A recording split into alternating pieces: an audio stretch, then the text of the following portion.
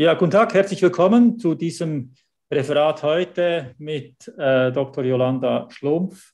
Sie wird sich danach gleich selber vorstellen. Sie ist ähm, eine international bekannte Spezialistin, vor allem im Bereich äh, der dissoziativen Identitätsstörung und der neurowissenschaftlichen Forschung dazu. Jolanda, vielleicht kurz, ja, dass du dich vorstellst, wie, wo arbeitest du und wie bist du in dieses Thema reingekommen? Ja, also zuerst mal vielen Dank für die Möglichkeit, zu diesem Thema zu referieren. Ähm, ich arbeite, ich bin Psychologin und Neurowissenschaftlerin und arbeite an der Universität Zürich, Lehrstuhl für Neuropsychologie als wissenschaftliche Mitarbeiterin und arbeite auch eng zusammen mit der Klenia Littenheit als wissenschaftliche Mitarbeiterin, ähm, wo ich eine Studie durchgeführt habe, über die ich heute auch noch sprechen werde.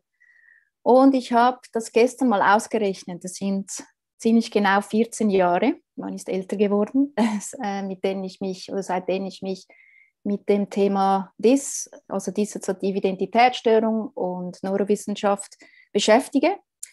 Und ähm, ja, das Interessante hierbei ist vielleicht noch, als ich begonnen habe mit meiner äh, Doktorarbeit, da war, war noch etwas eine andere Zeit, das war die Zeit von ICD-10. Äh, da hieß die dissoziative Identitätsstörung noch multiple Persönlichkeitsstörung.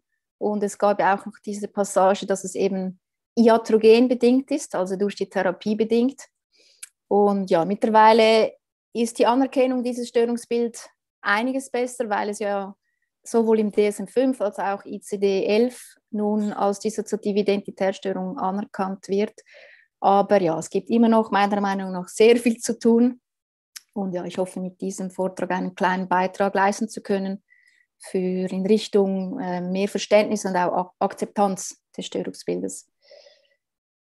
Ähm, Wenn es okay ist, schalte ich mal um auf, auf die Folien. Sieht man das? Ja. Gut, also eben, ich werde heute zur ähm, über die dissoziative Identitätsstörung und neurowissenschaftliche Befunde sprechen. Ähm, die DIS, äh, jetzt komme ich leider nicht weiter. Yes, die DIS ähm, ja, ist ein, ein Störungsbild, welches, ich sage mal, der Allgemeinbürger auch kennt, aber leider sehr oft ähm, oder hat wahrscheinlich sehr oft, viele haben ein sehr verzerrtes Bild. Ähm, hängt allenfalls auch ein bisschen damit zusammen, dass eben die DIS in, in Film und Buch oftmals aufgenommen wird als Element, aber leider, leider, leider äh, tendiert Hollywood dazu, die DIS sehr ähm, ähm, auch, also ein verzerrtes Bild der DIS ähm, zu übermitteln. Oftmals wird die DIS auch als, oder diese, die Personen auch als sehr Gewaltbereitschaft ähm, dargestellt. Ähm, ja, in Split geht es ja so weit, das ist der neueste Thriller, dass diese Person sogar zu einer Bestie mutiert. Ich würde mich sehr freuen, wenn, wenn äh, Hollywood mal einen Streifen filmen würde, in dem die Dis wirklich äh, realistisch dargestellt würde. Und ich würde behaupten, das wäre ein wirklich ganz krasser Thriller, äh, in dem es eben dann auch um organisiertes Verbrechen gehen würde dazu, ein bisschen, äh, dazu später noch mehr. Ähm, ja, leider ist es auch so, dass die DIS in der Forschung immer noch sehr stiefmütterlich behandelt wird. Ich habe hier mal einen, eine Abbildung ähm, ähm, erstellt. Und zwar habe ich in PubMed, das ist eben so das wissenschaftliche, äh, wissenschaftliche Suchmaschine mit den Begriffen dissoziative Identitätsstörung und ähm, und äh, Schizophrenie nach wissenschaftlichen Artikeln gesucht. Und was man hier sieht, ist halt, dass eben die DIS um ein Vielfaches, äh, die, Entschuldigung, die Schizophrenie um ein Vielfach häufigeres ähm, erforscht ist. Oder es gibt ähm, ein Vielfaches mehr an Artikeln, ähm, obwohl die Prävalenz bei beiden Störungsbildern etwa gleich häufig ist, nämlich ein Prozent. Und die DIS ja auch mit sehr hohen Gesundheitskosten einhergeht. Ähm, ebenso kursieren eben auch immer noch seltsame Ideen zum Störungsbild, äh, zur Ethologie, also zu ähm, den Ursachen dieses Störungsbildes. Es gibt grob gesagt zwei Modelle, das Traumamodell und das soziokognitive Modell. Anhänger des Traumamodells, äh, zu dem zähle ich mich, mich auch und dich natürlich auch. Die gehen davon aus, dass das ein, ein echtes Störungsbild ist, bedingt äh, eben durch chronische Traumatisierung. Ich komme darauf noch zu sprechen.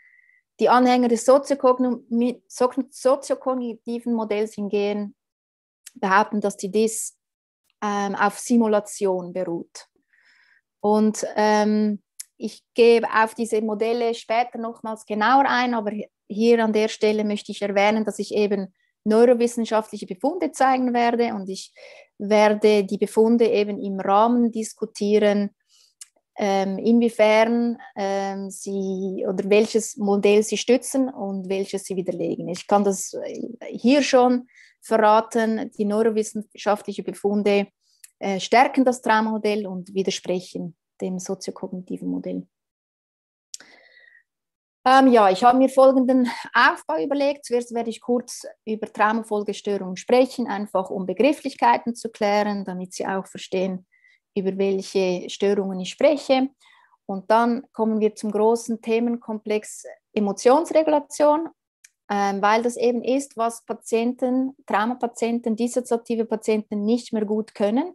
Es ist, besteht ein zu viel oder zu wenig an Emotionen. Ja?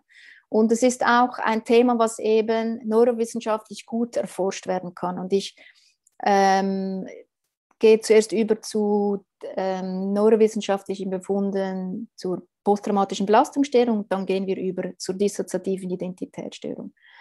Und im zweiten Teil werde ich noch ähm, auf die Studie eingehen, die ich kurz schon erläutert habe oder erwähnt habe, eine Wirksamkeitsstudie, ähm, die ich eben in Littenheit durchgeführt habe. Da haben wir uns die Frage gestellt, welche neuronalen Veränderungen ähm, eine, es durch, ähm, zu welchen neuronalen Veränderungen es durch eine Traumatherapie kommt bei diesen schwer traumatisierten Patienten. Und dann haben wir auch noch Zeit für, für Diskussion und Fragen. Okay, beginnen wir mit den Traumafolgestörungen, also einfach ganz basal. Traumafolgestörung, wie der Name schon sagt, ist eine Störung, die aus ähm, einem traumatischen Ereignis folgt oder mehreren traumatischen Ereignissen und dann einhergeht mit unterschiedlichen Symptomen. Und äh, wichtig an der Stelle ist eben zu wissen, dass es unterschiedliche Arten von Traumata gibt. Man unterscheidet Trauma durch interpersonelle Gewalt und Trauma durch Unfälle und Natur. Und ebenso unterscheidet man Typ 1, 2 und du hast noch diesen Typ 3 eingebracht, ähm, Traumatisierungen. Äh, typ 1 ist einmalig, Typ 2 mehrmalig und Typ 3 ist halt noch, noch krasser. Ja? Und je, je mehr wir uns von links nach rechts bewegen, desto wahrscheinlicher ist es, dass ähm, eine komplexe Form einer Traumafolgestörung ähm, entwickelt wird. Falls dir diese Folie übrigens bekannt vorkommt, es ist so, ich habe dein Layout übernommen aus, einer, aus einer anderen Vortrag. Ähm, genau, hier eben äh, sieht man noch diese Zunahme in der Komplexität äh, der Traumafolgestörung, einmalige, man nennt das auch Monotraumatisierung, sind eher mit einfacheren Traumatisierungen verknüpft, posttraumatische Belastungsstörung, jetzt geht es über zur komplexen posttraumatischen Belastungsstörung, die eben auch diese ähm, Kernsymptome der PTBS erfüllt. Also Vermeidung, was haben wir da, Intrusionen und Reizbarkeit, aber dann eben auch noch weitere Symptome zeigt, wie eben auch unter anderem ähm, starke Probleme in der Emotionsregulation. Und äh, bei den Typ 3 Traumata kommt es dann eben auch bis hin zu schweren dissoziativen Störungen wie der partiellen Dis oder der, der Dis. Ähm, die Dis, ja, das Hauptmerkmal ist eigentlich, dass eben verschiedene Persönlichkeitszustände vorhanden sind, die ähm, die Kontrolle über die Wahrnehmung, das Erleben, das Verhalten übernehmen können. Ja?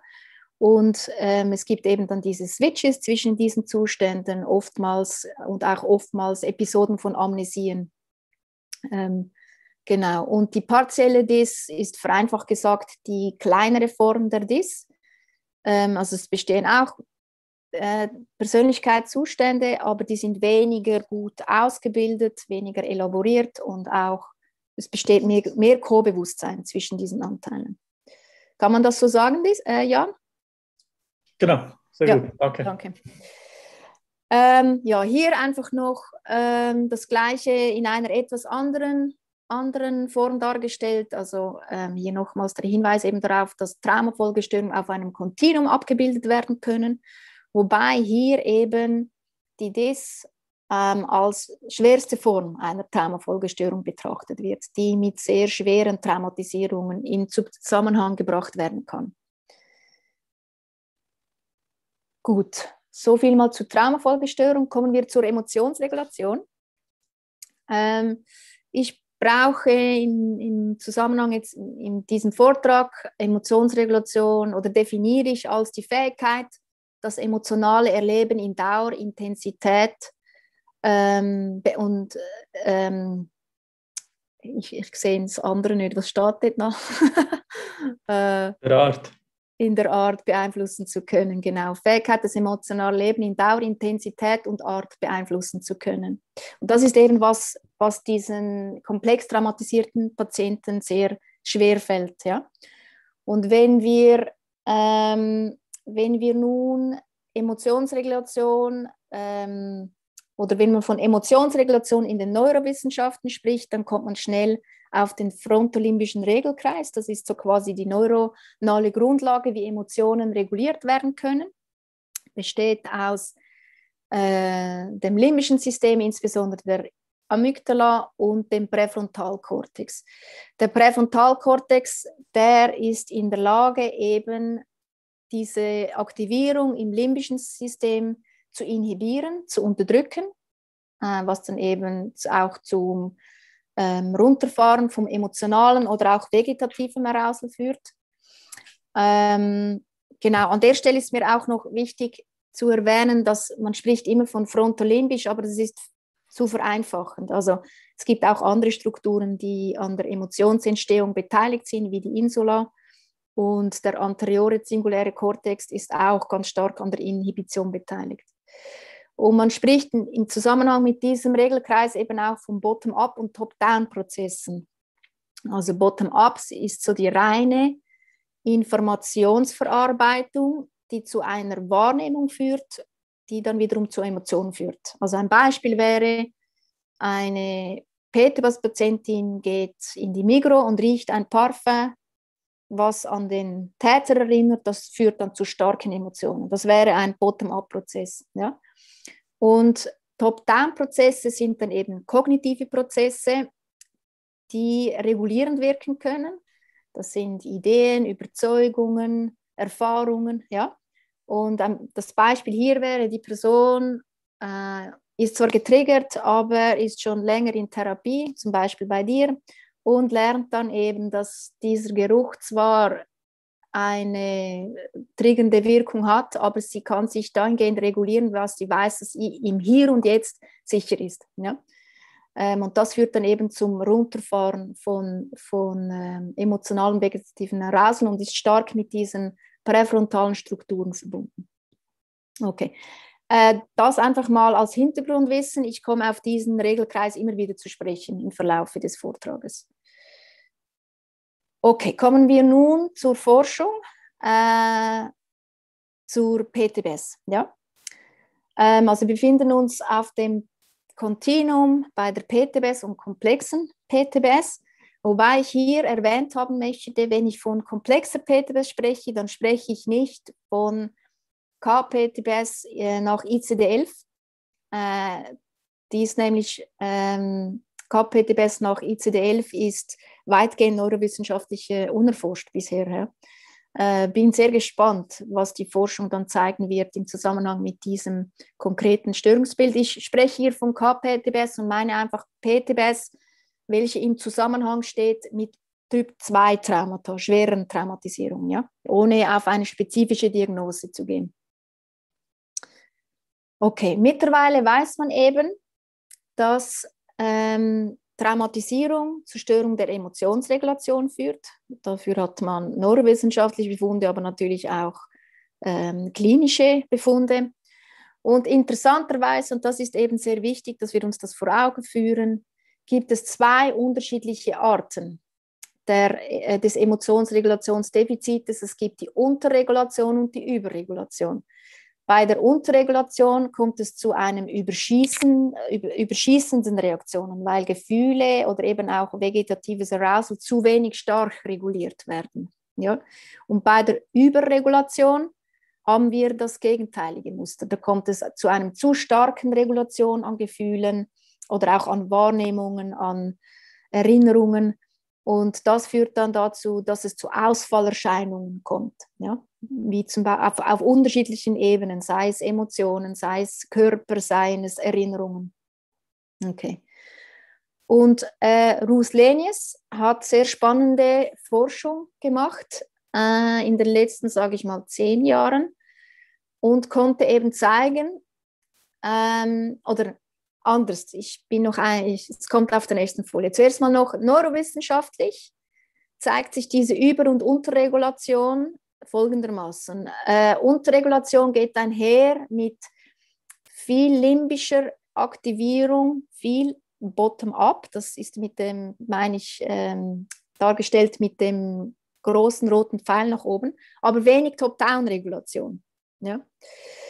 Ähm, genau. Und ähm, das geht eben einher mit Hyperarousal, also vegetativer Erregung und auch eben Überflutung an, an Gefühlen ja? oder Erlebnissen, Erinnerungen. Und die Überregulation, die ähm, zeigt das inverse Muster, also eben zu viel an Top-Down-Regulation, ähm, was dann eben zum Runterfahren von limbischen Strukturen Insula führt. Und das geht dann her mit wenig oder zu wenig an äh, vegetativer Erregung und eben dieser Gefühlstaubheit. Ja? Okay. Ähm, und jetzt kommen wir eben zur Forschung mit, äh, von Ruth Lenius. Ähm, die konnte eben zeigen, dass es unterschiedliche Typen von PTBS-Patienten gibt. Die einen gehen in die Unterregulation und die anderen in die Überregulation. Ja? Und interessanterweise, also ich nenne sie hier Hyperarousal Subtyp und der dissoziative Subtyp. Der Hyperarousal Subtyp ist so der klassische PTBS-Typ, also der eben mit diesen Kern-PTBS-Symptomen äh, äh, beschrieben werden kann. Und der dissoziative Subtyp, der zeigt eben ähm, in Reaktion, also das habe ich noch vergessen zu sagen, es geht immer um ein Muster in Reaktion natürlich auf bedrohliche Reize, auf Traumanahreize, auf Traumabilder, Traumaerinnerungen. Ja?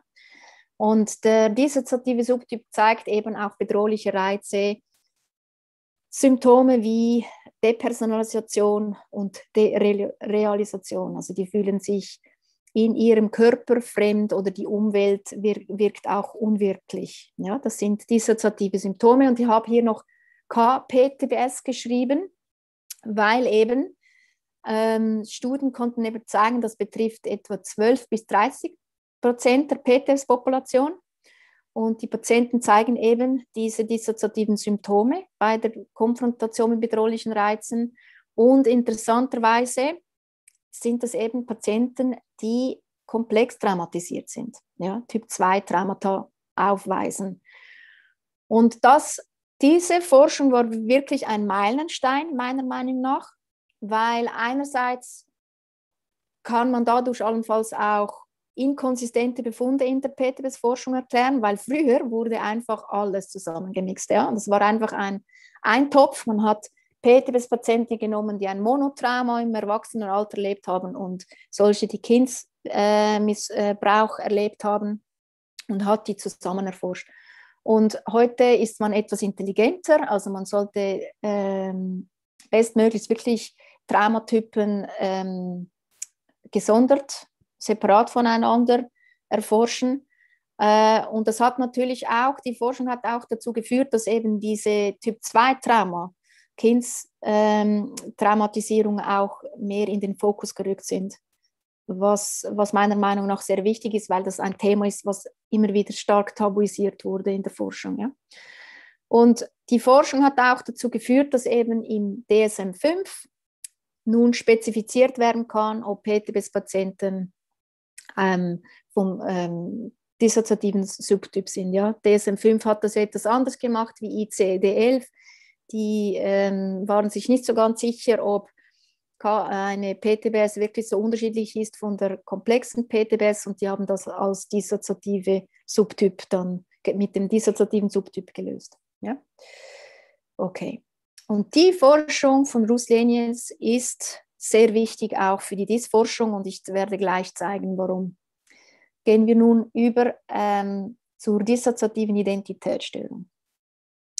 Also wir befinden uns jetzt hier auf dem Traumakontinuum eben ganz rechts ähm, und betrachten die dies als schwerste Form einer Traumafolgestörung. Ja? Ähm, ja, wie bereits schon erläutert, glücklicherweise ist die äh, DIS nun in beiden Diagnosemanualen aufgeführt als dissoziative Identitätsstörung.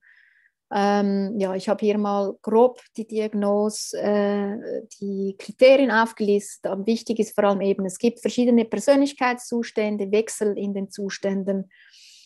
Ähm, und oftmals eben bestehen, bestehen auch Amnesien zwischen den Anteilen oder auch ein Anteil kann auch sich an wichtige autobiografische ähm, Erlebnisse nicht mehr erinnern. Ja? Ähm, kommen wir nochmals zu, zu diesen Modellen etwas, etwas genauer, ähm, weil es eben dann wichtig sein wird für das Verständnis der, der Ergebnisse. Also Anhänger des Traumamodells gehen eben davon aus, es ist ein echtes Störungsbild, bedingt durch eben diese chronische Traumatisierung, Typ 2 Trauma. Und was auch wichtig ist, ähm, es geht auch immer um diese gestörte Bindung, weil wenn natürlich die Täter die primären Bezugspersonen sind, was eben oft der Fall ist, dann ähm, und es auch zur emotionalen Vernachlässigung kommt, dann wird es eben schwierig mit der Bindung. Ja. Die Anhänger des soziokognitiven Modells die gehen davon aus, dass das eben die DIS ein simulierter Zustand ist, der erklärt werden kann durch, durch Fantasiefähigkeit, Suggestibilität, Suggestion und Rollenspiel. Also, ähm, das, also Suggestion erfahren die Patienten angeblich über Medien oder eben auch die Therapie. Ähm, es gab in den 90er Jahren dieses Buch Sibyl, das war das erste Buch einer DIS-Patientin.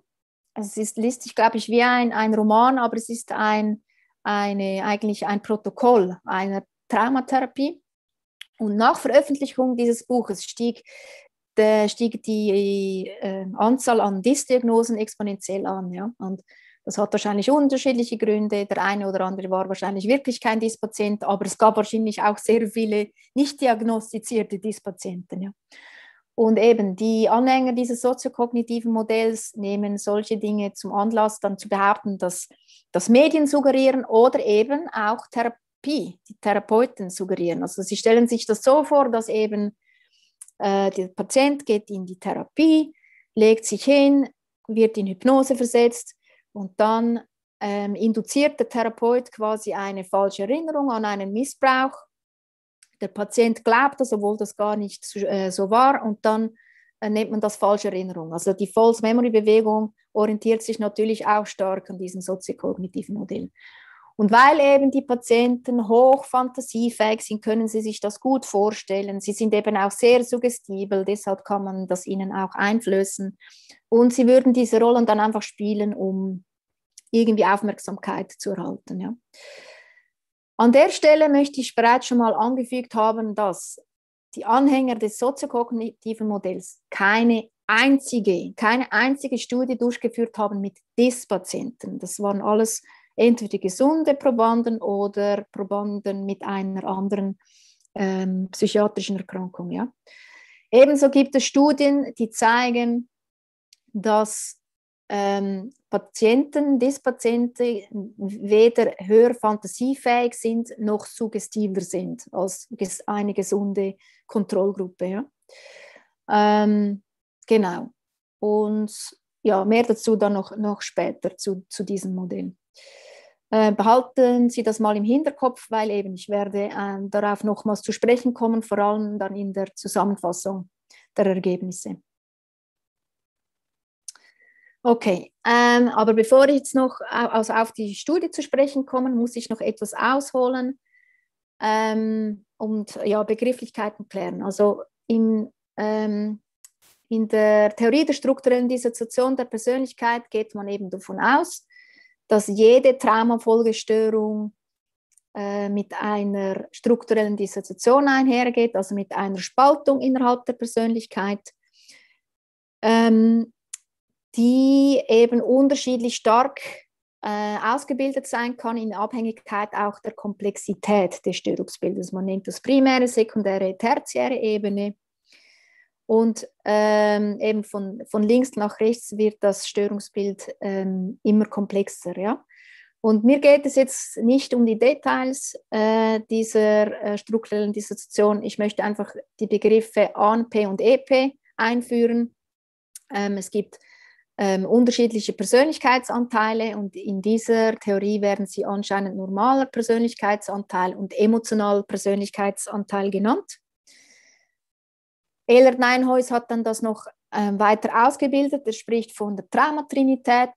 Es gibt, eine anscheinend es gibt anscheinend normale Persönlichkeitsanteile, die sind ignorant, die vermeiden das Trauma und übernehmen so quasi die Alltagsperspektive, sind im Alltag auch stark vorne, ähm, gehen zur Schule, gehen zur Arbeit und so weiter, erziehen Kinder. Dann gibt es äh, fragile EPs, die übernehmen die Opferperspektive, die erinnern sich an das Trauma ja, und erleben sich auch als Opfer. Und kontrollierende EPs, die übernehmen die Täterperspektive, die versuchen dienlichst, äh, sich eben nicht schwach zu fühlen, sondern ähm, gehen in die Rolle der Täter, sind oftmals misstrauisch, kritisch, sabotierend ähm, und zeigen ja eben auch dysfunktionales Verhalten. Auch da geht es mir nicht um die Details, sondern eben, ich führe Begriffe ein, um ähm, eben ähm, und gehe nur auf die äh, Anteile näher ein, die eben neurowissenschaftlich bisher auch erforscht wurden. Ja? Und das ist das fragile EP und das der anscheinend normale Persönlichkeitsanteil. Das fragile EP ist eben auf das Trauma fixiert, ähm, hat ein Traumagedächtnis und wenn dieses getriggert wird, dann kommt es zu intrusiven Wiedererleben. Und dieser Anteil geht in die aktive Verteidigung, Fight, Flight. Ja? Und dieser Anteil ist auch oftmals sehr kindlich. Es, die ganze Geschichte ist noch etwas komplizierter. Es gibt auch EPs, die in die ähm, totale Unterwerfung gehen. Das ist die, die passive Verteidigungsmodus. Ja? Aber Wichtig an der Stelle, wir haben nur, oder bisher wurden nur EPs untersucht, fragile vom Subtyp aktive Verteidigung. Ja? Und ANPs, die vermeiden eben das Trauma, die sind amnestisch, vollständig oder partiell. Sie personifizieren sich auch nicht mit dem, mit dem Trauma und ähm, das ermöglicht ihnen eben auch im Alltag bestmöglich vorne zu sein. Ja? Und das sind die Anteile, die eben neurowissenschaftlich erforscht wurden. Ähm, die Folie kennen Sie bereits. Und also es gibt, da habe ich äh, erwähnt, dass eben Traumatisierung zur Störung der Emotionsregulation führt. Und es gibt zwei unterschiedliche Muster.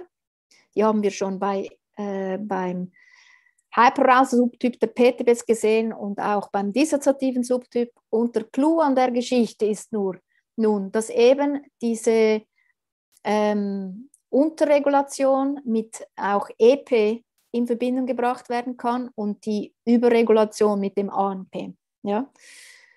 Ähm, also übrigens, Über- und Unterregulation sind, sind Begrifflichkeiten, die stark durch die Neurowissenschaften geprägt wurden.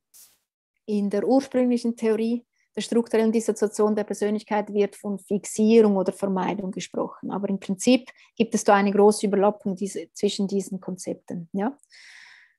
Und was eben die, die Forschung nun zeigen konnte, ist eben, dass wenn man EPs und ANPs mit bedrohlichen Reizen konfrontiert, dass eben das EP ein Muster, also neuronales, neurophysiologisches Muster zeigt, was der Unterregulation gleicht und ANP zeigt ein Muster, welches der Überregulation gleicht. Ja? Also wir haben eben dieses zu viele limbische sehr stark bottom-up gesteuerte beim EP und zu viel top-down beim ANP.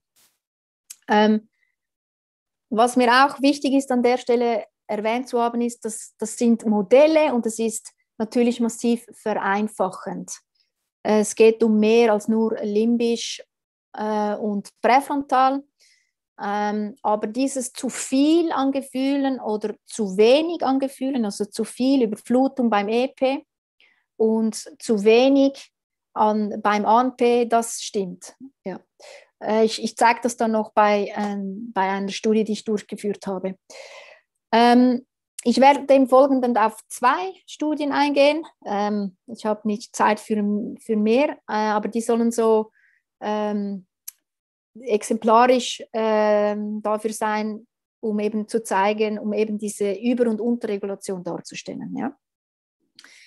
Ich beginne mit einer äh, Studie von Simone Reinders. Ähm, die hat, äh, das war eine PET-Studie, also Positronen-Emissionstomographie-Studie, damit kann man eben die Gehirndurchblutung messen.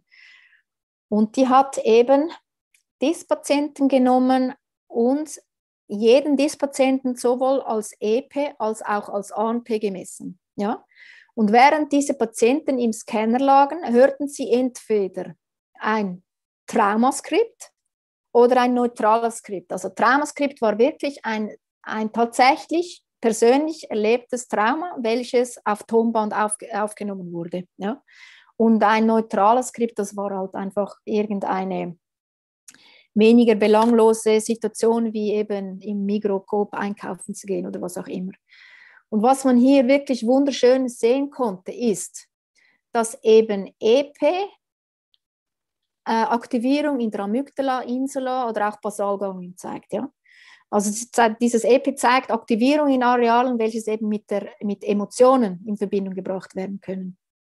Was wir auch immer wieder sehen, ist, dass wir, wenn EP mit bedrohlichen Reizen konfrontiert wird, irgendwas im Gehirn aufflackert, was mit Bewegung zu tun hat. Das wird dann so mit erhöhter motorischer Bereitschaft, ähm, erhöhter Tendenz zu, zu Kampfflucht interpretiert. Ja?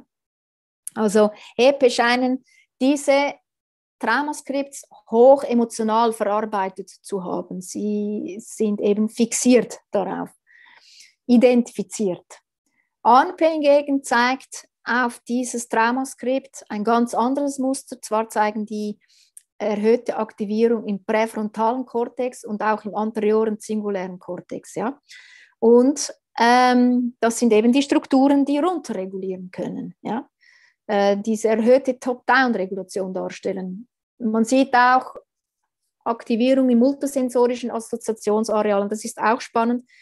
Das sind so posterior paretale Areale, die man auch sehr stark mit Depersonalisation in Verbindung bringt. Und das ist ja auch ein Symptom, welches ANP gut kennt. Ja? dieses sich äh, nicht, nicht äh, im Körper fühlen. Okay. Also, darf ich hier kurz rein? Ja, gerne, gerne. Bitte. Weil ich finde noch wichtig vielleicht ähm, zu, zu erklären, wie das gemacht wurde. Wie hat man, also was für Menschen haben man da genommen ähm, und, und wie kann man jemanden im EEP und im ANP untersuchen? Vielleicht, dass du das noch kurz erklärst. Ich weiß nicht, wie es Frau Reinders genau gemacht hat. Mhm. Ich kann es einfach sagen, wie, wie es wir gemacht haben. Ja. Also wir haben. Du hast ja auch mit einer Patientin an der Studie teilgenommen. Wir haben wirklich ähm, uns mit Kliniken in Verbindung gesetzt, ähm, von denen wir wussten, dass sie die, sich mit EP und ANP auskennen und gefragt, ob sie einen, einen Patienten haben, äh, der die die Diagnose einer DIS erfüllt. Das waren übrigens nur Frauen die teilgenommen haben. Also wir hätten auch Männer genommen, aber die haben wir nicht gefunden.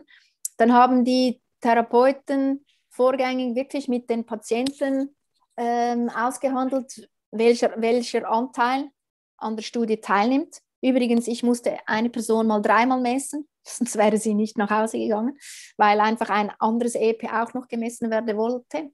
Aber das nur so am Rande. Und ähm, dann haben wir in Zürich haben wir dann vorgängig mit diesen Patienten geübt, weil es gibt in Zürich einen MOC-Scanner. Das ist ein Scanner, der sieht so aus wie, einen, wie ein, ähm, ein MRT, Magnetresonanztomograph, macht auch schreckliche Geräusche. Und da haben wir alles durchgesprochen. Die müssen ja auch wirklich ähm, in diese Röhre liegen und dann gibt es noch diese Headcoil, ähm, wie nennt man das auf Deutsch? Ähm, ja, so ein Teil, das über den Kopf geht, damit man eben ähm, äh, Gehirnaktivierung misst. Ja. Und also unser Ziel war, diese Patienten wirklich vorgängig bestmöglichst mit Bildmaterial, mit Geräuschen äh, zu konfrontieren. Aber es war natürlich höchst herausfordernd und ohne euch ähm, ähm, Kliniken wäre es auch nicht gegangen. Ja. Aber es ging erstaunlich gut. Ähm, lustigerweise, interessanterweise, wir haben immer mit dem ANP begonnen und dann mit dem EP ziemlich fortgefahren und ANPs waren auch sehr, sehr ähm, nervös, weil danach dann eben die EPs an die Reihe kamen. Ja. Äh, Bewegungsartefakte äh, ist ein Thema natürlich, weil die auch gezittert haben, aber auch das ging relativ gut. Ähm, und wie habt ihr diese Patientinnen gefunden? Ich meine, dass ein, äh, äh jemand mit einer DIS ähm, kontrolliert wechseln kann in ein EP und danach wieder vom EP zurück, das sind ja, ähm, also da braucht es ja einiges an, an, ja. an, Stabilität und, und Einsicht ja. und, deshalb, Kontrolle. Ja, deshalb ist unser Sample auch nicht übermäßig groß. Also ich habe 15 gefunden und das, das ist gut, dass es sagt, das sind ähm, Patienten, die halt schon lange in Therapie sind, bis zu zehn Jahren. Also eigentlich ist es ähm, ein spezifisches Sample. Das würde mich auch, also im Prinzip würde man allenfalls sogar noch krassere Unterschiede finden bei Patienten, die noch gar nicht in Therapie waren, mhm. Aber die kann man nicht messen. Ja, das das geht, geht so nicht. Genau, weil es darum geht, diese kontrollierte Messung machen zu können mit zwischen genau. diesem Persönlichkeitszustand und einem anderen. Ja, sehr gut. Ja, gut, ja. bringst du das bringst du das noch Man kann auch anders formulieren für die Kliniker, so Klinikerinnen ähm, im, im EP-Zustand, wenn man dort dann das, ähm, die Erinnerung, ähm, also dieses, dieses Traumaskript sagt, dann das EP reguliert, also reagiert eher mit, mit, ähm, mit Intrusionen und deshalb genau. die Aktivierung mit Hyperarousal und das ANP eher mit posttraumatischer Vermeidung. Genau. Das heißt mit Unterdrückung. Also was man Perfekt. nicht sieht, ist, wo das, also in der Traumatrias, die haben wir dann abgebildet, die Traumatrias, also die, die äh, Wiedererleben und ähm, Hyperarousal ist dann im EP-Zustand und die Vermeidung im ANP-Zustand. Und genau. das ist das, was ihr eigentlich gesehen habt. Ja, ja genau. Ja. genau. Gut, ich danke, danke. danke ja, ja danke für die Klärung. Ähm, Frau Reinders hat auch noch periphere Maße aufgenommen, was sehr sinnvoll ist ähm, weil die nämlich eine sehr direkten Aussage geben, ob die Probanden gestresst waren oder nicht. Sie hat Herzrate und Blutdruck ähm, gemessen ähm, und diese Abbildungen zeigen quasi, ähm, dass ANP und EP, EP grün, ANP rot, während dem Hören des neutralen Skripts keine signifikanten Unterschied zeigen im Vegetativ, in der vegetativen Erregung. Hingegen dann beim Hören des Traumaskripts gibt es beim EP, aber nicht beim ANP, einen sehr starken Anstieg. Ja? Deshalb sprich, spreche ich auch immer wieder von Hyper versus, versus Hypoarousal. Das passt, passt auch wunderbar. Ja? Es zeigt eben nochmals diese, dieses äh, sehr stark emotional involviert sein des EPs in das Trauma und diese Vermeidung von ANP. Gut, ähm, diese Studie wurde im 2006 publiziert und ähm, es gab dann, also diese, diese, diese, diese Skripts haben die Probanden ja bewusst gehört, ja. Und ähm, Ella Neinhaus hat sich dann auch die, die Frage gestellt, ob diese, äh, also bedrohliche Reize, ähm, ob, ob, oder ob es auch zu solchen Unterschieden zwischen ANP und EP kommt, ähm, wenn, wenn die, also im, im Sinne einer vorbewussten Verarbeitung. Ja? Ähm, und das war ähm, ein Teil meiner Doktorarbeit, ähm, um eben vorbewusste Verarbeitung von bedrohlichen Stimuli äh, erforschen zu können, braucht man ein Maskierungsparadigma. Ja? Ähm, wir haben Gesichter genommen, weil Gesichter eben, das weiß man aus anderen Studien, eben sehr stark auch das limbische System aktivieren, vor allem wenn man sie unterhalb der Wahrnehmungsschwelle präsentiert. Also die Leute sehen dann nur ein Flickern, aber sie nehmen das, das, das Gesicht nicht bewusst wahr und das macht man, indem man eben ein Bild zeigt, ganz kurz, knapp 17 Millisekunden und vorher und nachher, unmittelbar vor und nachher zeigt man eine Maske.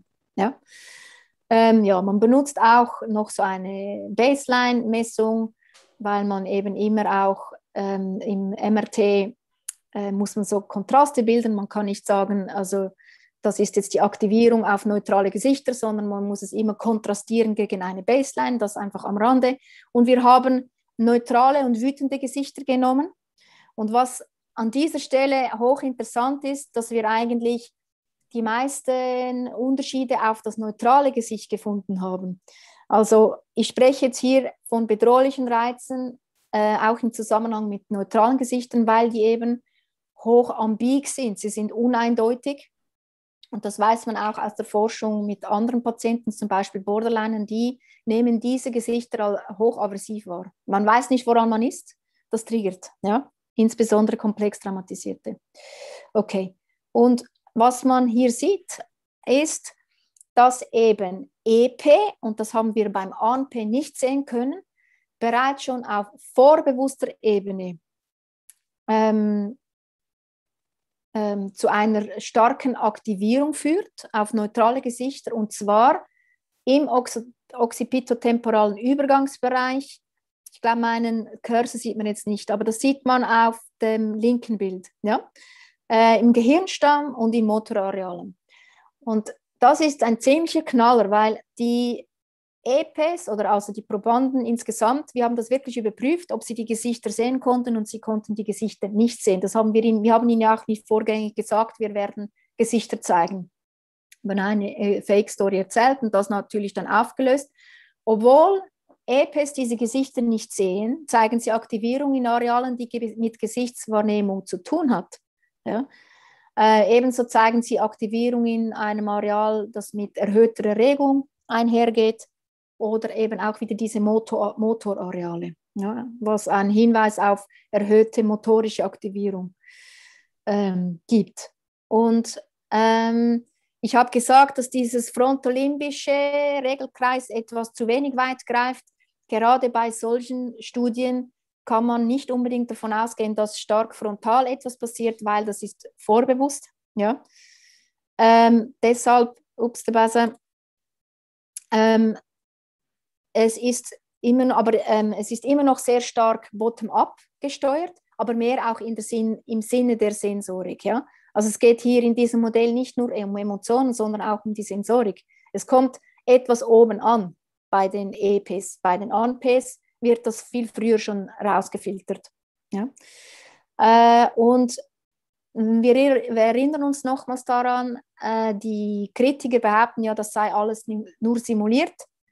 Ähm, ja, ein Kritiker soll mir jetzt erläutern, wie das simuliert sein kann, wenn ein Patient gar nicht weiß, dass er mit solchen Bildern konfrontiert wird. Das ist ein starker Hinweis darauf, dass das eben gar nicht ähm, auf Simulation zurückgeführt werden kann. Ist das, ist das klar soweit? Ja, finde ja. ähm, vielleicht noch kurz dass du sagst, mit wem hat man verglichen oder sagst du das nachher sowieso? Nein, genau, perfekt, vielen Dank. Auf das möchte ich gleich äh, zu sprechen kommen. Man sieht es hier etwas kryptisch. Also wir haben eben echte Dispatienten untersucht und auch simulierende, eine simulierende Kontrollgruppe. Ja? Und das EP sind eben die echten EPs und SIM-EP sind die Simulanten. Wir haben ähm, die Probanden vorgängig ähm, oder ich komme gleich, also das ist eigentlich der Übergang zur nächsten Folie. Wenn man eben nun diese ähm, Behauptung der Simulation der Kritiker ernst nimmt, dann würde das bedeuten, dass eben gesunde Menschen, die instruiert werden, was ist eine DIS, was ist ein ANP, was ist ein EP, also die wenig Suggestion erhalten. Spanus hat übrigens, ist ein Kritiker gesagt, es braucht nur ganz wenig Suggestion und dann können die Patienten das. Okay, das haben wir im Prinzip gemacht, indem wir Schauspieler genommen haben und sie instruiert haben, was ist ein ANP, was ist ein EP. Die haben auch noch ein Video gesehen von einer Probanden. Die mussten sich solche Rollen ausdenken und dann im Scanner spielen. Ja? Und man überprüft dann quasi, zeigen die, diese, diese simulierende Kontrollgruppe, vereinfacht gesagt, auch dieses diverse Muster zwischen ANP und EP und das war eben definitiv nicht der Fall. Ja?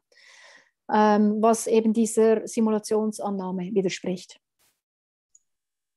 Könnte man dadurch sagen, dass der, der im Hirnscan hätte man eigentlich Diagnose stellen können? Also, oder ist, man die, der Hirnscan hätte gezeigt, wer gehört in welche Gruppe? Ja, so weit sind wir einfach noch nicht. Aber das ist etwas, was vielleicht Zukunftsmusik ist. Also generell finde ich, MRT zu diagnostischen Zwecken zu benutzen, das ist viel zu teuer, oder? Also das geht Nein, ich habe es nicht so gemeint. Ich habe okay. mir gemeint, ich meine, die, die, die, zwei, also die zwei Gruppen, oder? Und von außen, ob ist jemand ein Schauspieler, äh, Profi-Schauspielerin oder ist jemand eine Betroffene, das zu unterscheiden, kann ja vielleicht schwierig sein. Aber der, im, im, im Scan hat man es dann gesehen, den Unterschied. Genau, genau. Das, der das Scan hat eigentlich gezeigt, wer gehört in welche Gruppe. Yep. Genau. Mhm. Ja.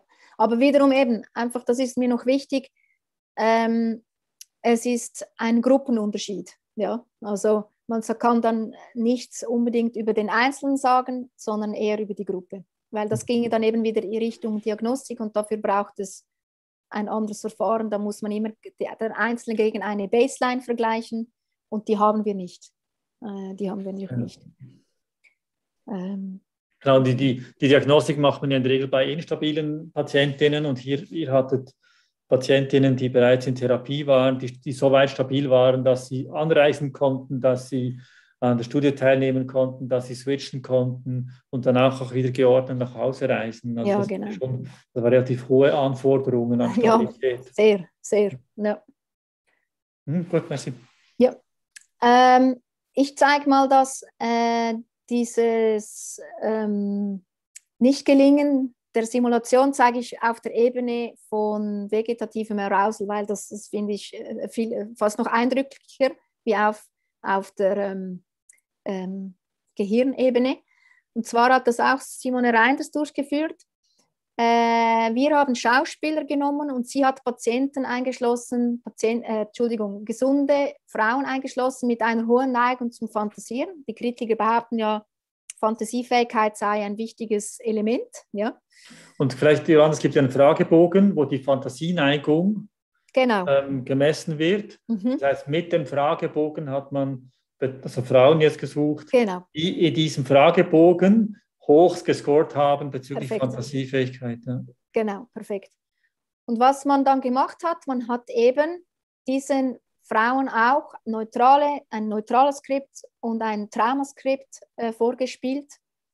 Also ich nehme mal an, das waren Ereignisse, die einfach schwer waren für sie. Ja. Und ähm, was man hier sieht, ist, da sieht man den, in Rot sieht man den Blutdruck der echten Patienten und in, in Blau der Sim Simulantinnen. Ja? Und ähm, es wurden sowohl, äh, und man sieht, dass dieses Zickzack in der roten Kurve und das, der Blutdruck geht immer hoch bei den echten des Patienten, wenn sie im EP ein Traumaskript hören. Und bei, bei der ähm, Kontrollgruppe bleibt das, haben wir eine Flatline. Ja? Also man sieht hier sehr schön, diese Simulation ist nicht gelungen, auch nicht Frauen, die eine hohe Neigung zum Fantasieren haben. Ja? Gut. vielleicht kurz ähm, noch zurück, ich meine, das mit den, das eine, die erste Studie von Simone Reinders, da ging es ja darum, überhaupt mal zu zeigen, da gibt es also wie, was läuft auf, äh, äh, ja, ein bisschen so auf, auf der, der Neurowiss oder hirnorganischen Ebene. Und dann war der Vorwurf, ja, das ähm, kann man ja auch Schauspielern spielen. Ja. Deshalb war eure Studie, dann war der zweite Vorwurf eben, das ist ja nur Suggestion. Und, und da, also da kam deshalb dann die, die andere Studie von Simone Reinders hier, die 2012 Studie, wo man auch das dann ähm, nachweisen konnte, dass das eben nicht ähm, auf ähm, Suggestionsfähigkeit beruht. Ja. ja. genau. Also das ist wirklich auch in Reaktion auf Artikel der, der Kritiker entstanden. Also das befruchtet sich gegenseitig. Muss man auch sagen, das ist auch wichtig. Ich meine, es ist wichtig, mhm. diese, war wichtig, diese Forschung zu, in Frage zu stellen und zu sagen, im Moment, wo gibt es Schwächen, äh, das wurde dann aufgenommen, ähm, diese, diese, äh, eben das, der Nachweis, dies versus Suggestion, dies versus Rollenspiel, ähm, und, ähm, die vorbewusste Verarbeitung, ja, genau, ist auch genau. ein Element. Und ähm, was genau, und das ist eigentlich, das wurde auch gezeigt, wie, wie dass es wirklich eigentlich dadurch auch gezeigt, dass eine dissoziative Identitätsstörung ist auch eine neurobiologische ähm, Störung. Also es ist, sie geht wirklich bis tief auf neurobiologische Ebene. Ähm, und, und, das war, und, und dass man aus dem PET-Scan unterscheiden kann und jetzt auch mit dem Blutdruck zu Menschen, die suggestibel sind, zu Schauspielern und so weiter. Ja. Genau, genau. Danke. genau mhm. ja. Gut, also so viel ähm, zum Themenkomplex Emotionsregulation. Äh, ich gehe gerne noch über zu dieser Therapiewirksamkeitsstudie, die ich eben ähm, im Rahmen meines Postdocs in der kleinen Littenheit durchgeführt habe. Ähm, und zwar hat die Litten, Littenheit hat ja zwei Traumastationen, wo eben ähm, schwer traumatisierte und dissoziative Patienten therapiert werden. Und eine Hauptfragestellung war eben, zu welchen neuronalen Veränderungen es durch die Traumatherapie kommen kann. Ja? Ähm, ja, eine kleine Impression. Also wir haben wirklich die Patienten vor Ort gemessen. Äh, man sieht hier auch, also es war eine EEG-Studie übrigens, Elektroenzephalographie-Studie, mit denen man Hirnströme ableiten kann. Und ähm, die Probanden ähm, durchliefen eben auch wieder unterschiedliche ähm, Experimente, was man hier am rechten Bild sieht. Auf die Experimente komme ich noch im Detail zu sprechen. Das Studiendesign sah ganz vereinfacht so aus. Also wir hatten eine Patientengruppe und eine Kontrollgruppe. Und die Patienten wurden ähm, gemessen kurz nach dem Eintritt, das ist die Prämessung, und kurz vor dem Austritt nach einer achtwöchigen stationären Therapie. Ähm, und die Kontrollprobanden, die erhielten natürlich keine Traumatherapie, aber da haben sie in einem ähnlichen Zeitrahmen auch zweimal gemessen. Und in der Kontrollgruppe äh, gab es, ähm, die mussten entweder die Diagnose einer KPTBS, einer partiellen DIS oder äh, DIS erfüllen. Also KPTBS ist hier eher, ähm, also ist nach ähm, Disorder of Extreme Stress not otherwise specified, noch nicht nach ICD-11. Ja? Ähm, genau. Und ähm, wir haben die Probanden, das vielleicht noch einfach am Rande, lediglich als ANP gemessen. Es ist, äh, wir wollten es ursprünglich auch als EP messen, aber unsere Ressourcen waren schon, schon so aufgebraucht. Wichtig ist einfach, eben, wir haben nur in einem spezifischen Anteil gemessen, um eben auch neurophysiologische Aktivierungsmuster nicht durcheinander zu bringen. Ja? Ähm, sonst hat man zu viel Varianz und dann gibt es nichts mehr statistisch Signifikantes. Und ähm, ja, die, gesund, die gesunde Kontrollgruppe war einfach eine passive Kontrollgruppe, ähm, die wir in Alter, Geschlecht und Ausbildung mit den Patienten verglichen, ähm, gematcht haben, in Übereinstimmung gebracht haben. Und sowohl vor als auch nach der Therapie haben wir sowohl Fragebögen erhoben als auch eine EG-Messung durchgeführt. Ja? Und dieses äh, Design erlaubt eben der Vergleich zwischen den Gruppen und auch äh, die Veränderung über die Zeit, also über die Therapie hinweg. Ne? Die Patienten, die, äh, das waren eben Patienten aus der Klinik Littenhardt in zwei Traumastationen und ähm, das war ein multimodales, phasenorientiertes Therapiekonzept, ähm, multimodal heißt eben, dass unterschiedliche Therapieangebote kombiniert werden, wie ich sie hier aufgelistet habe. Und phasenorientiert heißt eben, dass die Patienten unterschiedliche Phasen durchlaufen, also weniger linear, sondern eher ähm, spiralförmig, also will heißen, in Abhängigkeit ihrer Bedürfnisse geht man auch wieder zurück in eine, ähm, in, auf eine Phase in der Stabilisierung, da geht es eben stark darum, dass die Patienten Emotionsregulationsstrategien erlernen. Äh, ähm, es geht auch um den Aufbau von Vertrauen, einer stabilen Beziehung, therapeutischen Beziehung. Und erst dann geht man in die Konfrontation mit, dem, mit Traumainhalten, Traumaerinnerungen und Integration. Das ist die Phase, wo die Patienten ähm, bestmöglich auch zurückgeführt werden in den Alltag, auch noch andere Emotionen bearbeitet werden wie Scham oder Wut. Genau. Ähm, die meisten Patienten, die an der Studie teilgenommen haben, befanden sich üblich, übrigens in der ersten und zweiten Phase der Therapie. Okay, was wir untersucht haben, ist, wir haben die Veränderungen in Netzwerken untersucht. Und das Maß, das man dazu nimmt, ist die sogenannte funktionelle Konnektivität. Ist relativ einfach erklärbar. Damit misst man, wie synchron äh, entfernt liegende Gehirnregionen miteinander feuern oder wie stark entfernt liegende Gehirnregionen miteinander gekoppelt sind. Also man sieht hier in der Abbildung links zwei Regionen A und B und den ähm, meinen Cursor sieht man nicht, oder? Äh, doch, man sieht den Cursor, ja. Okay. Ähm, also man sieht diese Aktivierung über die Zeit, Hirnregion A und B, und das sind eben entfernt liegende Gehirnregionen, die eigentlich gar nicht so viel miteinander zu tun haben. Und diese zwei Gehirnregionen sind, haben eine hohe funktionelle Konnektivität, weil sie eben einen ähnlichen Rhythmus haben. Ja? Sie feuern ähnlich im Rhythmus und diese Rhythmen nennt man ja, in, der, in der Fachsprache Frequenzen. Und da gibt es langsame und schnelle Frequenzen. Und wir haben eben diese Frequenzbänder, äh, diese Netzwerke in unterschiedlichen Frequenzbändern gemessen. Ja. Das so am Rande. Ähm, genau, also wir haben nicht einzelne Hirnregionen gemessen, sondern wirklich Veränderungen in Netzwerken. Ja. Und wir haben die Probanden sowohl während einer Emotionsregulationsaufgabe gemessen, das ist die kognitive Neubewertung. Ich erläutere das noch kurz. Äh, ich habe mich für dieses Paradigma entschieden, weil es eben sehr stark dieses frontolimbische Netzwerk aktiviert, welches eben bei Patienten über- oder unterreguliert sein kann. Ja? Und ebenso haben wir die Probanden im Ruhezustand gemessen. Ähm, das nennt man Resting State. Und man weiß eben aus der Literatur, dass ein stabiles Netzwerk ähm, aktiviert wird, welches eben im Ruhe in der, beim Nichtstun aktiv ist und beim Lösen von Aufgaben sich deaktiviert. Das nennt man das Default-Mode-Netzwerk.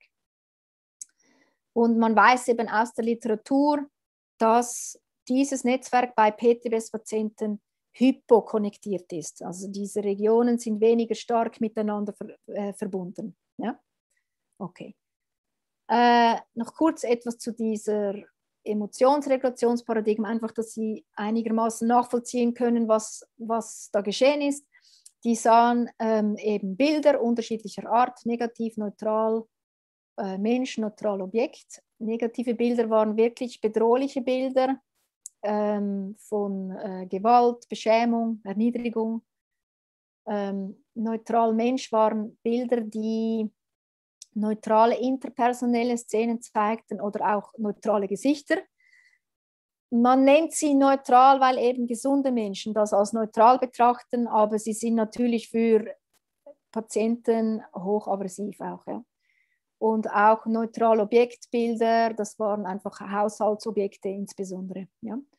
Und die Bilder wurden randomisiert, zufallsgeneriert gezeigt Instruktion bestand darin, eher die Gefühle, entweder die Gefühle beizubehalten auf diese Bilder oder auf diese negative Bilder auch herunter zu regulieren, indem man diese Situation neu bewertet. Also neu bewertet, damit es weniger, damit weniger, diese Situation weniger stressig ist.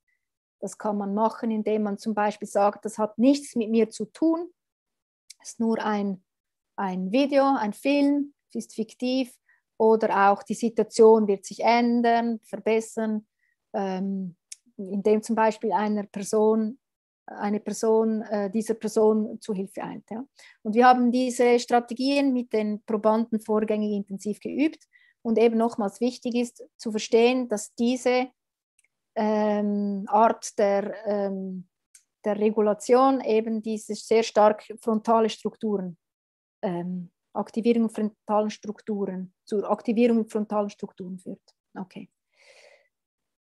Ich, äh, wir haben natürlich eben auch Fragebögen erhoben. Was man sehen konnte, ist eben, dass es in unterschiedlichen Symptomarten zu einer Reduktion von Symptomen gekommen ist über die Therapie hinweg. Ähm, allgemeine Symptombelastung, ähm, das haben wir mit dem Brief Symptom Checklist untersucht, das ist die Kurzform der SCL, glaube ich. Dann in PTBS-Symptomen, in, in Depression, in der Depression und auch in dissoziativen Symptomen. Ja. Äh, wo wir keine signifikanten Veränderungen gesehen hatten, ist in Somatoformen, dissoziativen Symptomen und in der, in der Angst.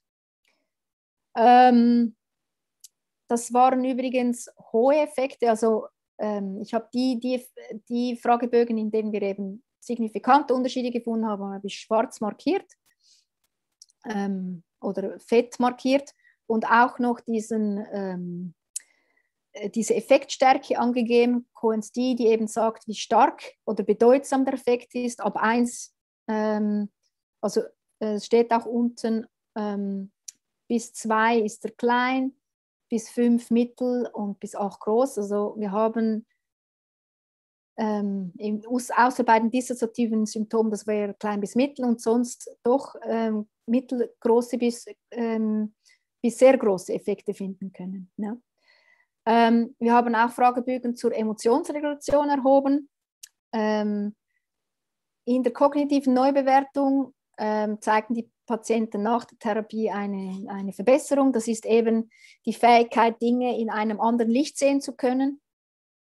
Unterdrückung gab es keine Veränderung, das ist aber auch gut.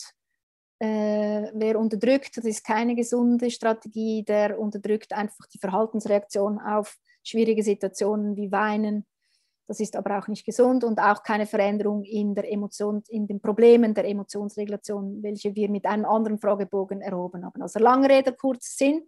Es gab auch auf klinischer Ebene äh, ähm, klare Veränderungen. Ja? Und äh, auf neuronaler Ebene, und ich habe das hier einfach mal auf einer Folie zusammengefasst, die Hauptaussage, also Sie erinnern sich daran, die Patienten wurden vor und nach der Therapie gemessen und wir haben zwei Experimente durchgeführt, die Ruhemessung und dieses kognitive, äh, dieses Paradigma zur kognitiven Neubewertung. Und die Patienten zeigten vor der Messung, äh, vor der Therapie, in diesen Netzwerken, in diesem frontalimbischen Netzwerk und im Ruhenetzwerk eine sogenannte Hypokonnektivität, also weniger, äh, das Netzwerk war weniger gut gekoppelt, weniger, die, diese Regionen kommunizierten weniger gut miteinander, ja, im Vergleich zu den Gesunden.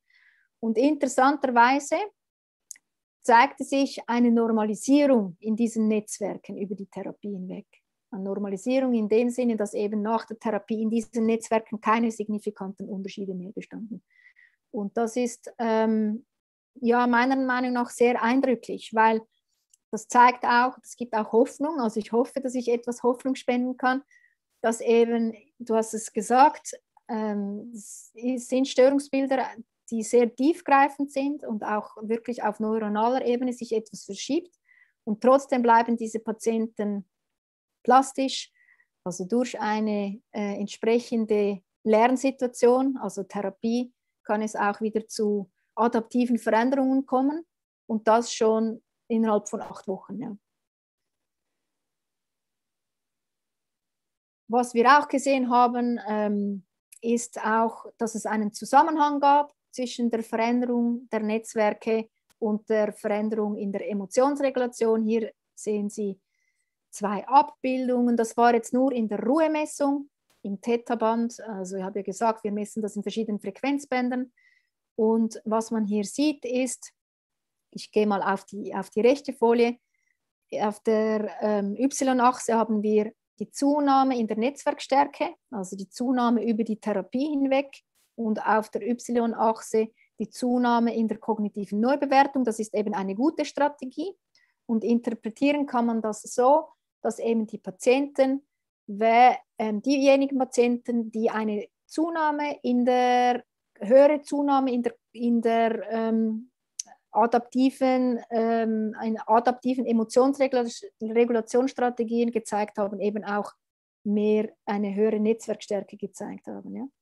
Und hier sieht man einen negativen Zusammenhang, das ähm, kann man aber dadurch erklären, dass eben hier der Fragebogen Probleme in Emotionsregulation abgebildet wird. Also diejenigen, die weniger Emotionen haben, haben auch in der Emotionsregulation haben auch eine höhere Netzwerkstärke nach der Therapie. Ja? Und ähm, also lange Rede, kurz Sinn, diese Netzwerkveränderungen scheinen auch eine klinische Bedeutung zu haben. Ja? Ähm, eine erhöhte Netzwerkstärke geht auch mit einer verbesserten Emotionsregulation einher.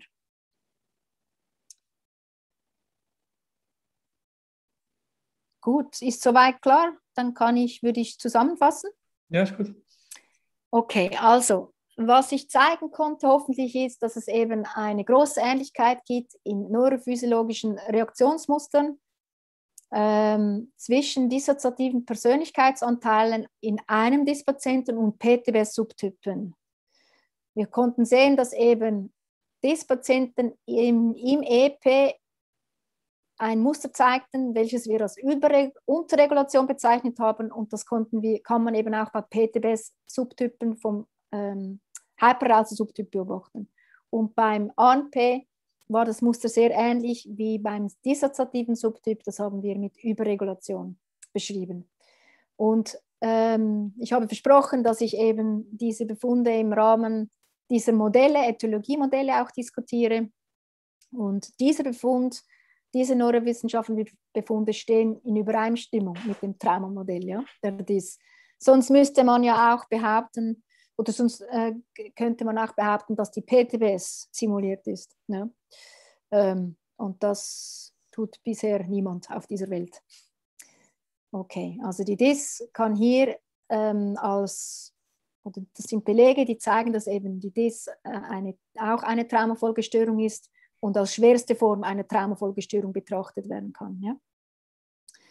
dann konnte ich hoffentlich zeigen, dass eben die Simulation dieser neurophysiologischen Aktivierungsmuster äh, in diesen Patienten keiner Kontrollgruppe gelungen ist. Wir haben das mit Schauspielern gemacht, Vereinders äh, mit äh, gesunden Probanden, ähm, die eine hohe Neigung zum Fantasieren aufweisen. Und diese Befunde widersprechen ganz klar dem soziokognitiven Modell, ja? weil wenn dem, das richtig wäre, hätten eben ähm, Simulanten auch das neurophysiologische Muster simulieren müssen. Und zu guter Letzt ähm, eine Trauma- und dissoziationsfokussierte Therapie bei komplex traumatisierten und dissoziativen Patienten führt zu einer Abnahme in Symptomen, eben auch dissoziativen Symptomen und auch zu einer Normalisierung in, in, in Netzwerken, die normalerweise bei Traumapatienten gestört sind. Und ähm, auch das widerspricht dem soziokognitiven Modell, weil die Anhänger dieses Modells behaupten ja, dass Therapie schädlich ist. Also müsste ja dann eigentlich zu mehr dissoziativen Symptomen kommen. Ich habe hier auch noch die, und es müsste einfach zu, zu mehr Unruhe äh, und nicht zu adaptiven Veränderungen auf neuron neuronaler Ebene kommen. Ja. Ich habe hier auch noch Brand, äh, Bethany Brand, ähm, zitiert, sie ist sehr genial, Professorin aus Amerika, die eben sich auch sehr stark ähm, für dieses Traumamodell einsetzt und eben auch zeigen konnte, dass Therapie durch geübtes Personal eben nicht schädlich ist, im Gegenteil, dass es zur Abnahme von Symptomen führt. Gut, dann wäre ich am Schluss hier einfach noch ein kleiner Hinweis, ähm, den ich auch mitgeben möchte. Es gibt ähm, auch bei, jetzt, bereits jetzt schon auf YouTube eine kleine eine Kurzdokumentation von Dominik Majori, ist ein Psychologiestudent und er hat während dem Psychologiestudium, also mittlerweile hat er vielleicht auch schon abgeschlossen, ähm, aber er hat während dem Studium auch noch äh, Filmwissenschaften studiert und eine Dokumentation gedreht zur DIS. Und da erzähle ich auch noch mal einiges, was ich jetzt heute auch schon erzählt habe. Und äh, Erwin Lichtenecker, Eva Zimmermann sind auch mit von der Partie. Ja, somit wäre ich, wäre ich am Schluss meines Vortrages. Gut. Ja, vielen Dank. Kannst du aus der Präsentation raus? Ja. Äh, ja. Ja, genau. Weshalb ist das, vielleicht noch kurz zum, zum, zum Abschluss, ähm, äh, weshalb ist das äh, so wichtig, dieses, dieses äh, soziokognitive Modell, auch dem zu widersprechen? Ähm, vielleicht kannst du kurz noch dazu sagen, oder was sind denn die Implikationen? Was sind die Implikationen? Ja, ja wenn das soziokulturelle Modell, soziokognitive, soziokognitive Modell, das sagt ja, das gibt es, dies gibt es gar nicht, das ist nur Schauspielerei und Suggestion. Ja, ich glaube, dazu kannst du was mehr sagen, aber ich nehme mal an, ich meine, es geht wirklich um die, um die Anerkennung eines Störungsbildes. Ähm, und das hat natürlich weitreichende Implikationen. Ähm, wenn es das Störungsbild nicht gibt, dann müssen wir uns therapeutisch nicht schulen, dann müssen wir, äh, muss Polizei und Justiz sich nicht damit beschäftigen, dann gibt es auch keine IV für dieses Störungsbild. Ähm, und, also IV, Invalidenversicherung für. Genau, ja, mhm. genau. Und man darf einfach weiterhin Menschen schänden, ohne dass es irgendwie ähm, Konsequenzen hat. Ja. Genau, weil du sagst, also die, also man, man durch die schwere Gewalt, schwerste mhm. Gewalt an, an Kindern, äh, jungen Menschen gibt es äh, diese dissoziative Aufspaltung. Und, und wenn man die, wenn man diese in Frage stellt, diese Aufspaltung, dann kann man sie nicht erkennen und das ist dann schlussendlich positiv für die, für die Täter, die nicht befürchten müssen, dass man ähm, über die Behandlung der Betroffenen, dass also die Betroffenen so stark werden, dann auch, dass sie ähm, sich auch ähm, dagegen wehren können, also auch äh, in der, äh, mit einer Strafanzeige zum Beispiel da, dagegen angehen können. Ja. genau. Ja, genau.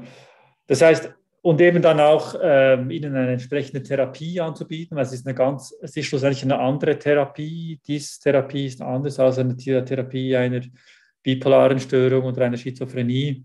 Äh, es gibt andere Richtlinien, äh, wie man vorgehen sollte. Ja, genau. Ja. Ähm, ja, schön. Und wichtig denke ich auch, dass auch wenn die Forschung jetzt zeigt, das sind hirnorganische Unterschiede, schlussendlich, es gibt auch Hoffnung, weil das ja auch zum Teil wachsen kann. Du hast jetzt nicht viel über den, den äh, Hippocampus gesprochen, aber dann gibt es diese hippocampalen Veränderungen, die auftreten können im Verlauf einer längeren Therapie. Ja, genau. Also vielleicht das noch. Ähm, auch noch, das ist auch noch, ich habe jetzt nur über, über strukturell, äh, Entschuldigung, funktionelle Veränderungen gesprochen. Genau. Ähm, es gibt auch ähm, ein klarer Hinweis darauf, dass also die Abnahme im Hippocampus ist ein, ein ganz klarer Beleg oder ist ein, ein Beleg, der, der oft repliziert wurde bei Traumapatienten. Also weil Und, chronischer Stress führt genau. zu einer hippocampalen Atrophie. Genau, genau. Ja. Und bei diesen Patienten ist der, diese Atrophie noch viel stärker. Es korreliert auch mit der Schwere an Traumatisierungen. Oder? Und das ist auch ein sehr schöner Hinweis darauf, was dem soziokognitiven Modell widerspricht, weil ähm, hippocampale Veränderungen können wohl kaum simuliert werden. Ja, genau. Aber eben, es gibt auch da Hoffnung, weil eben der Hippocampus gerade insbesondere ist ja fähig zur Neurogenese, also zur, ähm, gibt Wachstum an, an, an ähm, Nerven in diesem Gebiet. Andere Gebiete ist das weniger möglich, aber trotzdem äh, gibt es plastische Veränderungen. Also es gibt keine, keine Neurogenese, aber trotzdem gibt es synaptische Veränderungen. Und ähm, ja, es kann auch trotzdem zu funktionellen Veränderungen führen. Vielleicht nicht genau. nur neuroanatomisch, aber fun funktioneller Art. Ja. Und das wurde nicht nur bei DIS und Celtis nachgewiesen. Es gibt auch diese bekannte äh, Bucharest Orphanage Study, wo man ja auch nachweisen konnte, dass bei Kindern, die vernachlässigt aufgewachsen sind, zuerst in einem Kinderheim und man hat sie separiert. Eine Gruppe war in einer Pflegefamilie, eine Gruppe weiter in einem Kinderheim, dass ähm, der Hippocampus sich besser erholt hat bei ähm, den Kindern im, äh, in, in, den Pflegefamilien. Das ist es ja, sehr kurz zusammengefasst, aber. Ja. ja. ja. Weil man nicht, dass die Idee entsteht, dass es nur bei Parzelle ist, sondern grundsätzlich einen chronischen Stress, speziell im Alter, wo ja diese Hirnstrukturen wachsen, hat dann einfach auch Einfluss ähm, eben so weit dann, dass, der, dass es eine hippocampale Atrophie geben kann. Ja. Das als ein Bereich noch. Ja. ja, was ich eben auch so traurig finde, dass es so wenig Forschung gibt dazu, weil es wirklich ein Störungsbild ist, welches therapiert werden kann, auch wenn es lange dauert und vielleicht nicht bei jedem, aber ähm, da ist Veränderung möglich. Oder? Und, äh, genau, wie du aber schon gezeigt hast, es ist nicht ganz einfach. Ich meine, ich mhm. weiß von der Studie, die du da gemacht hast, bei der, deine, ein Teil deiner ähm, Doktorarbeit, ihr musstet ja ziemlich weit gehen, um, um ausreichend stabile DIS-Patientinnen zu finden. Ja. Äh, die kamen, also ihr habt die, die Studie in Zürich gemacht. Ich glaube, ihr habt doch einige, also kamen aus Deutschland. Genau. Ja. ja. Das, ja. War, ähm, das war nicht eingeflogen. so einfach. Ja. Eingeflogen. Sogar eingeflogen. Ja, da genau. hatten wir einen guten Forschungsgrant.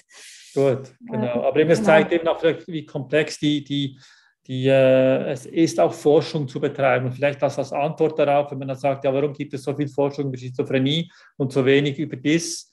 Ähm, es ist natürlich, es hat ähm, mit Geldern zu tun, weil die Schizophrenieforschung sind auch durch die Medikamente andere ähm, äh, Finanzierungsquellen da, aber bei der DIS ist es auch noch ein bisschen komplizierter. Obwohl ich finde, dass das ist in dem Sinne eine Ausrede, um die, also die Forschung nicht zu tun, nicht zu durchzuführen. Nein, nein, nein. Es ist nur vielleicht, also, wenn sich jemand fragt, ja, warum gibt es denn so viel mehr Forschung zur Schizophrenie und so viel weniger zur dissoziativen Identitätsstörung? Genau.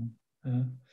Das stimmt, aber man könnte die Forschung immer noch machen mit einem kleineren Sample, oder? Also, Absolut. Genau, genau, genau. Nein, ich glaube Weiß ich vielleicht jetzt mit dem ICD-11 dann auch etwas ändert. Ich meine, jetzt seit 2019 gibt es diese offiziellen Kriterien. Mhm. Ja, ich bin mega gespannt. Also eben auch gespannt, was, was dann die neurowissenschaftlichen Korrelate der, der komplexen PTW sind. Und ja, eben die, der dissoziative Subtyp im DSM-5 hat auch schon etwas Auftrieb gegeben. Das hat Boden mhm. gegeben für die DIS-Forschung. Ja. Mhm. ja, sind wir gespannt, was da noch kommt. Ich danke dir ganz, ganz herzlich vielen, vielen Dank für deine Ausführungen. Ja, gerne. Und mhm. würde dann hier mal abschließen. Danke. Gut, alles Gute, danke.